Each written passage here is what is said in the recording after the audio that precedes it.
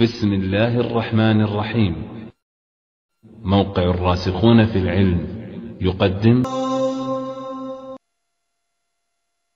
الحمد لله كما ينبغي لجلال وجهه وعظيم سلطانه والصلاة والسلام على خير رسله وصفوة أنبيائه صلى الله عليه وعلى آله وأصحابه وعلى سائر من اقتفى أثره واتبع منهجه بإحسان إلى يوم الدين. أما بعد فهذا لقاء مبارك حول أسماء الله الحسنى جعلنا الله وإياكم ممن يحفظها ويعمل بها.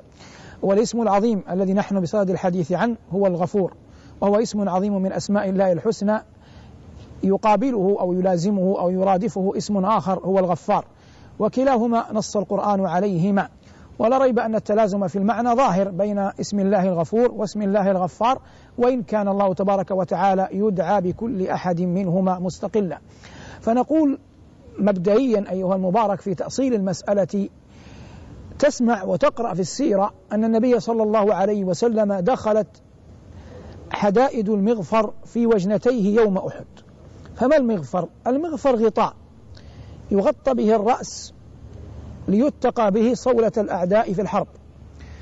على هذا تفهم أن الأصل والجذر اللغوي لمادة غفر هو التغطية. هو ماذا؟ هو التغطية والستر. هذا الأصل.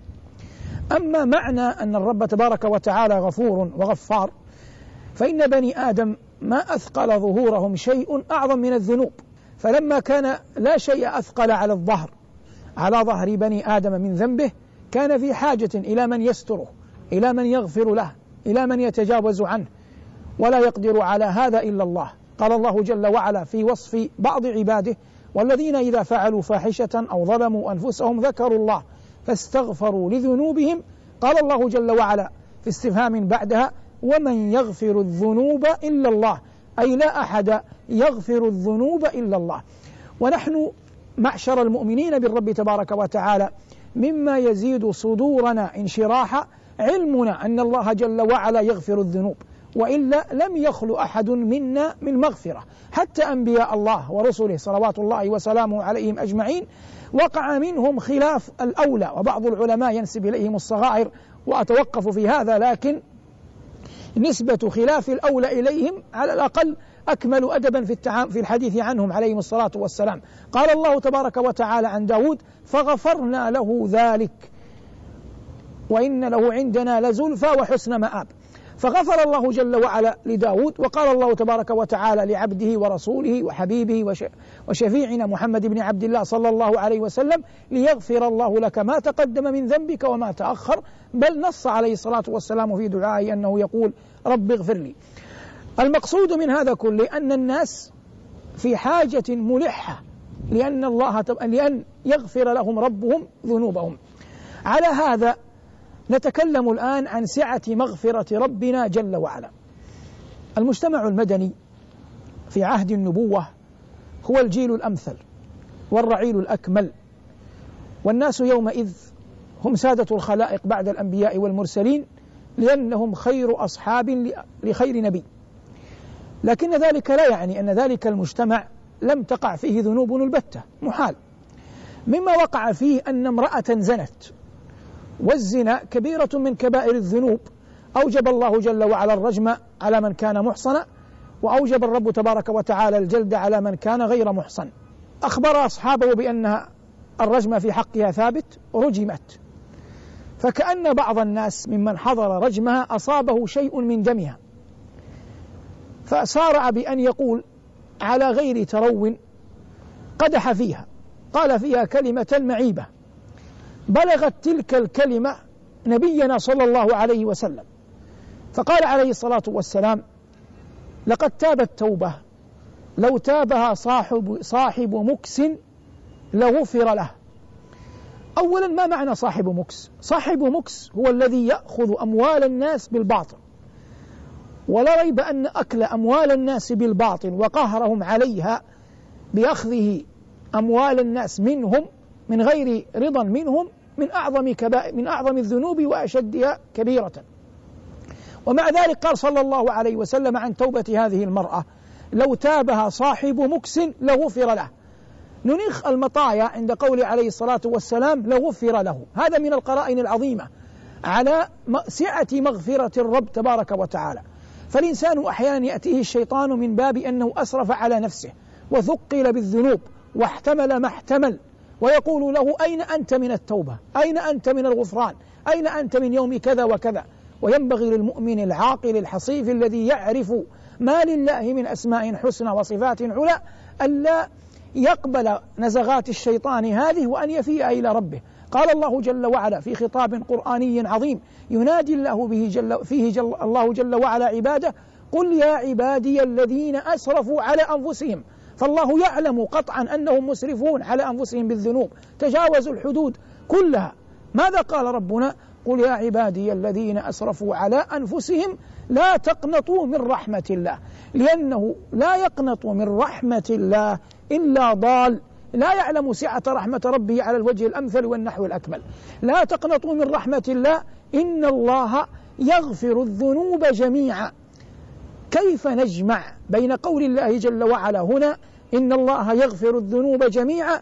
وبين قوله تبارك وتعالى في آية أخرى إن الله لا يغفر أن يشرك به ويغفر ما دون ذلك لمن يشاء. وغفران الذنوب له سببان. السبب الأول توبة يظهرها العبد يفيء بها إلى ربه تبارك وتعالى. فهذا يجتمع فيه غفران الشرك مع غيره. بمعنى لو أن إنسانا لم يكن على ملة الإسلام أصلا يهوديا أو وثنيا أو مجوسيا أو نصرانيا. فتاب وفاء إلى ربه فهذا يقبل الله جل وعلا توبته والتائب من الذنب كمن لا ذنب له فيغفر الله جل وعلا له ما قد ما قد سلف. الحالة الثانية وهو أن يكون الغفران من الرب هبة منحة إلهية من غير توبة من العبد. والله جل وعلا يغفر لمن يشاء.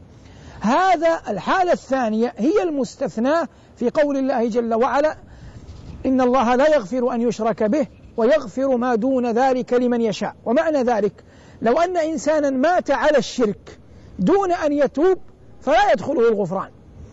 لأن الله يقول إن الله لا يغفر أن يشرك به.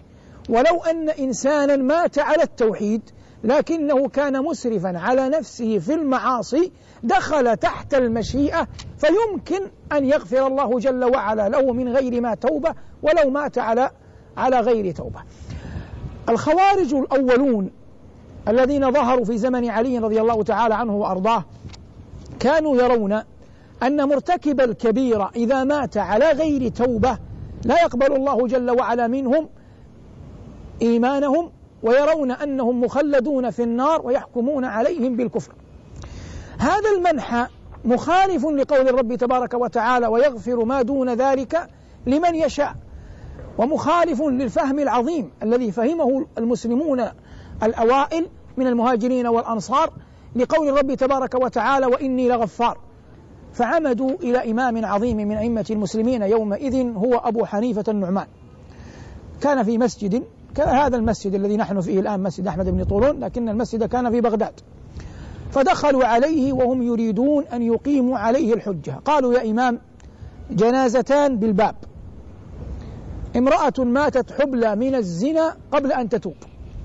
ورجل مدمن خمر غص به فمات قبل أن يتوب فما تقول فيهما.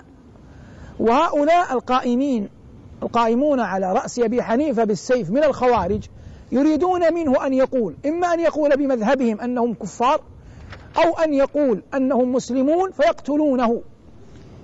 فقال رحمه الله وكان شديد الذكاء قال لهما هل هما أي المرأة والرجل يهوديان؟ قال لا. قال هل هما نصارى؟ قال لا. قال هل هما مجوس؟ قال لا. قال فمن هما إذا قال إنهما مسلمان. قال أنتم حكمتما أنهما مسلمان. قال الرجلان من الخوارج دعنا من ألاعيبك وقل لنا هل هما في جنة في الجنة أو في النار؟ فقال رحمه الله وما أبلغ علمه. قال أقول فيهما خير, خير مني في من هو في من هو شر منهما. أقول فيهما ما قاله خليل الله إبراهيم ربي إنهن أضلن كثيرا من الناس فمن تبعني فإنه مني ومن عصاني فإنك غفور رحيم وأقول فيهما كما قال عيسى ابن مريم إن تعذبهم فإنهم عبادك وإن تغفر لهم فإنك أنت العزيز الحكيم فتأمل أيها المبارك كيف أن الرب.